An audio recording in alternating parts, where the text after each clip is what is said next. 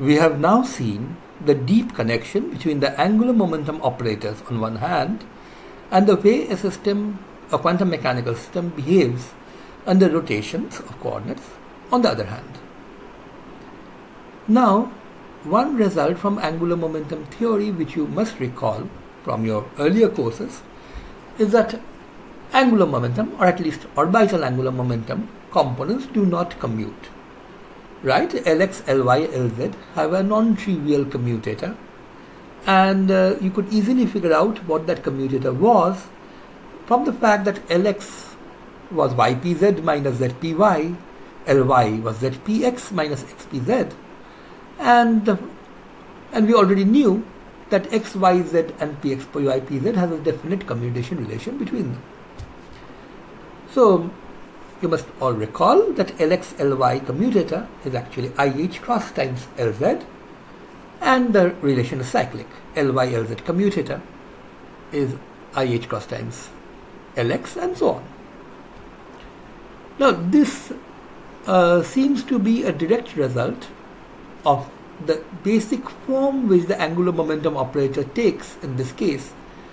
Rem remember this is the case where we are talking about operators which act on wave functions which are functions, simple functions of x, y, z. And as we have already said, there are quantum mechanical systems where the states are described by more complicated objects.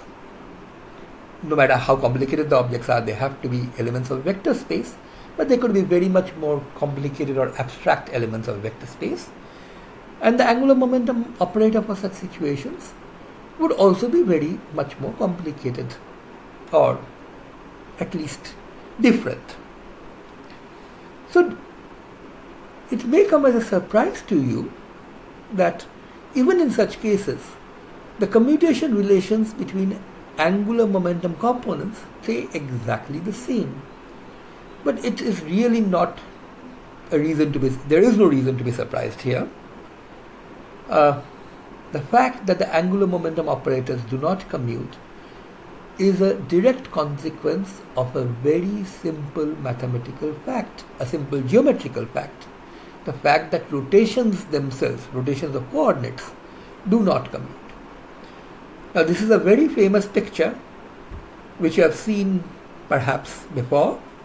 I've taken this from a book by Benjamin Crowell on general relativity. It's a open source free book available and this essentially shows the shows the fact that two rotations about two different axes do not commute. So you start with a physics text lying flat on a table and these three axes x, y and z have been marked. Now if you rotate 90 degrees about x first, the book turns and now faces you. Remember the y-axis still points vertically up and now if you rotate 90 degrees about the y-axis, the book turns until it is facing in this direction. Now, what happens if you were to do the same rotations but in the other order? You, if you first turn through 90 degrees about the y-axis, then the book turns counterclockwise when it's seen from the top and is now still flat on the table but has been turned around. Now the x-axis is still remember in this direction. So when you rotate 90 degrees above the x-axis, the book now turns to face you while lying on its edge. Notice that this is a result of a 90 degree rotation about x and then a 90 degree rotation about y. The lower one here is a result of a 90 degree rotation about y followed by a 90 degree rotation about x. And the two results are entirely different. So starting from the same initial state, two successive rotations, the same two successive rotations about the same axis to the same angle, but at, in different orders, lead to entirely different results. So there are of course different combined rotations. Now let us put this thing into a bit more of maths and let us do this for an arbitrary angle. Now if you did not know this already, it's pretty easy to figure out that the rotation matrices acting on three-dimensional coordinates for rotations through an angle theta about the x-axis and the y-axis are given by these matrices. They are very very similar to the matrix RZ theta we had, which we had talked about at the very beginning, uh, except for the fact that X, Y, Z have been cyclically interchanged. So the rows of this matrix have been cyclically permuted. Rows and columns. Now armed with these matrices, we are going to do a quick mathematical calculation. I'm going to ask what happens if I rotate through an angle theta 1 about x-axis first and then rotate through an angle theta 2 about the y-axis or rather the question that I'm asking here is the is really the opposite question. I'm rotating through theta 2 about the y-axis first. Remember the one acting on the sitting on the right axis first and then I'm rotating about the x-axis through an angle theta 1 and just to make the whole thing fit into the screen instead of cos theta 1 I've used c1 sin theta 1 is s1 etc etc here. Now this is a matrix multiplication which can be carried out very easily but I'm pretty sure you will not be able to follow this on the screen. It's best that you take out pen and paper yourself and work it out. The result works out to be this one. Notice uh, it's pretty easy to do the matrix multiplication, so I'm not going to elaborate on this, but it's always good to be able to work it out yourself rather than rely on my word for it. Now this was a rotation about the y-axis to theta 2 first, then a rotation about the x-axis to theta 1. What happens if we do this in a different order? That is, rx theta 1 first, then ry theta 2. Of course, all that happens is these two matrices sitting here gets interchanged and once again the matrix multiplication is pretty trivial. Takes a while to do, but it's rather easy to see that this is what you get. As you can see clearly that these two matrices are not the same. There's a 0 sitting here and S1, S2 sitting here for example. So if you subtract these two matrices, what you get, of course, is not the null matrix, the result is pretty straightforward. This is what you get. Notice that all diagonal elements are 0. It sort of looks like an antisymmetric matrix, but it's not really antisymmetric. These two elements are the same. This one is, has opposite sign, this pair. Um, it is quite an interesting question as to exactly what happens to this matrix under transposition uh, I would urge you to figure that out in general. So this is the general result that two, oper- two rotations carried out one after the other um, does not commute and the commutator AB minus BA is of this particular form. What is going to be very much more interesting actually is that if we take a look at this result in the limit when the angles of rotation involved are very very small. Both theta 1 and theta 2 are to be replaced by epsilon 1 and epsilon 2 and we are going to take epsilons as very small.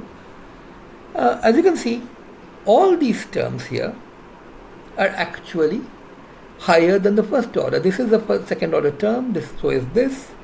Now this has only one epsilon 2 but notice that 1 minus C1 is actually epsilon 1 square by 2 and plus higher order terms. So this term actually is cubic in epsilon. So is, so is this, this, this. So to the first order in small angles, the commutator vanishes. And it shows up as a non-zero result only at the second order and the second order term, if you just retain up to the lowest non-trivial order, the second order, this result actually becomes very, very simple. It simply becomes this. Notice that these elements, while they were non-zero, this one here, this one here, and their corresponding ones on the other side of the diagonal, they were non-zero for finite angles, but for infinitesimal angles, they're actually third order. So if you're keeping up to order 2, this is all you get. Plus, of course, third order corrections. Oh, before that, let us just point out that this matrix is actually not um, very unfamiliar. If you put it put ones here, this would really be a rotation matrix for rotation about the z-axis to a tiny angle epsilon 1 epsilon minus epsilon 1 epsilon 2.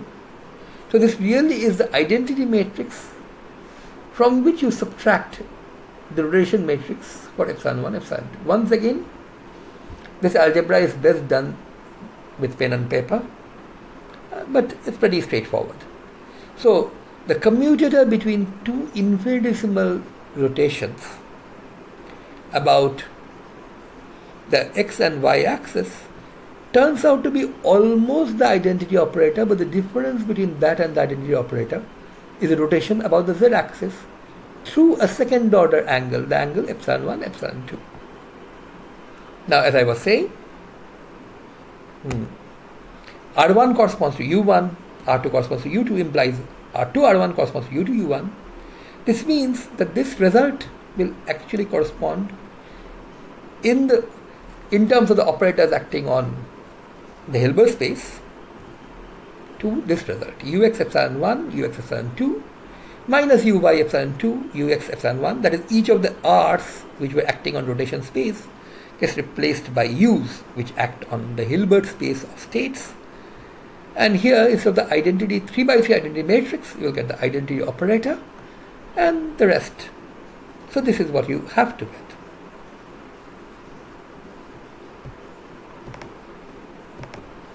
So the result that we have here is that the geometry of rotations, the fact that rotations about the x and the y axis do not commute, leads us to the statement that rotations about the x axis and y axis,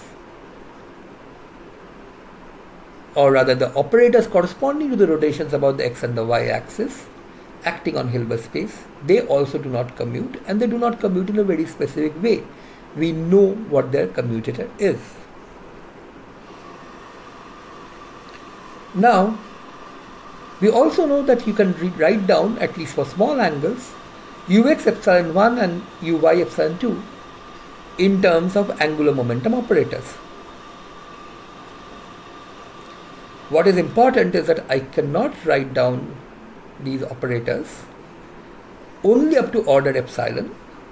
Why? Because uh, after all, the result that I am looking for, the correction term is of the order of epsilon square so I have to write down each, each individual operator, not just up to order epsilon, but up to order epsilon square.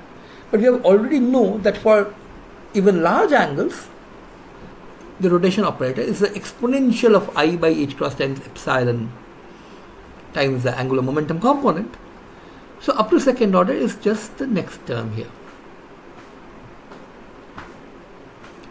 So this is what ux epsilon 1 is and a similar expression works for uy epsilon 2.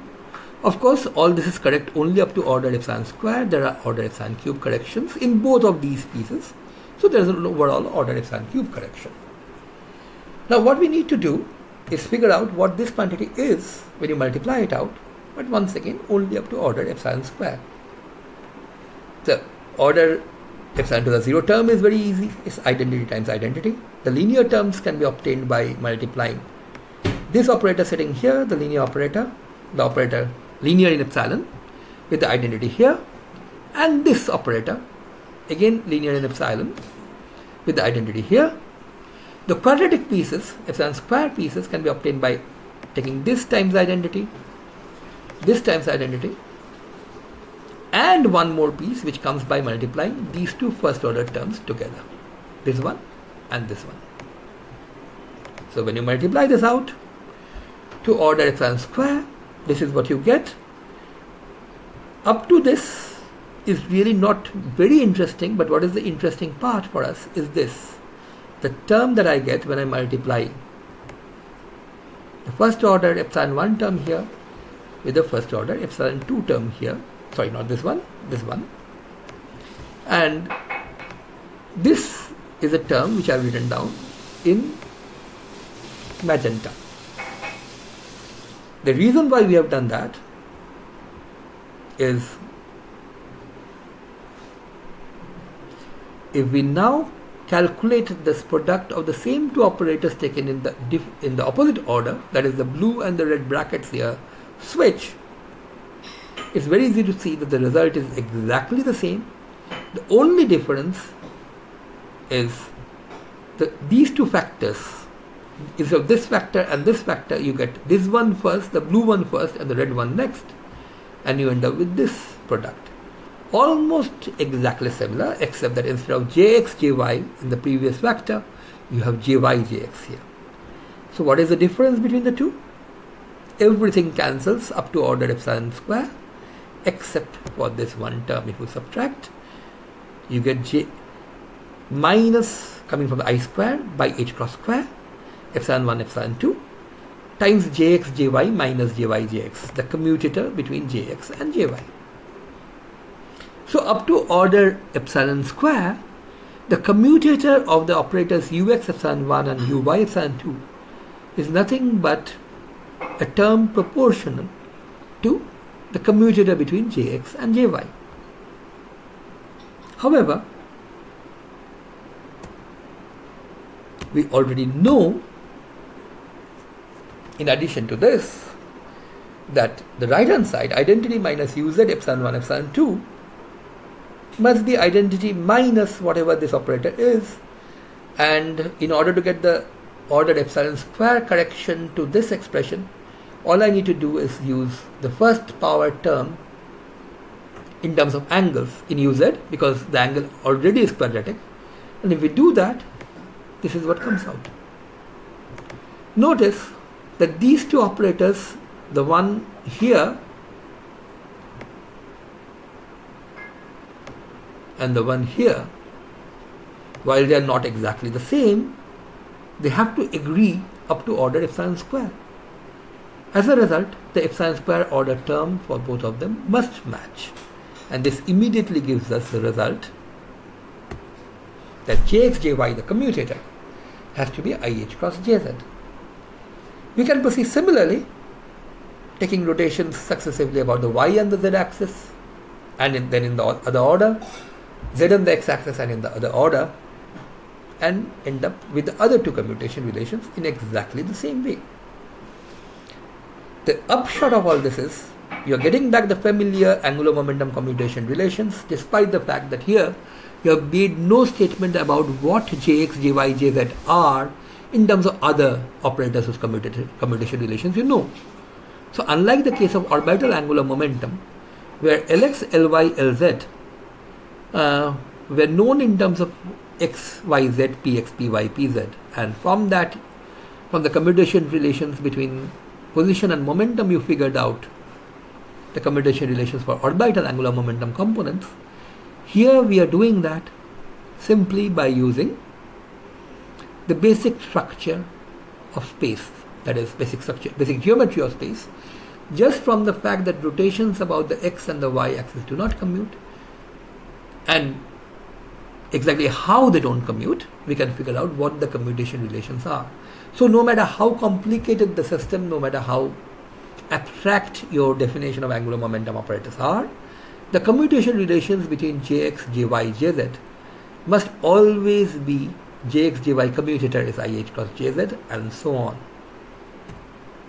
So the commutation relations between angular momentum operators follow from geometry irrespective of the detailed structure of the operators.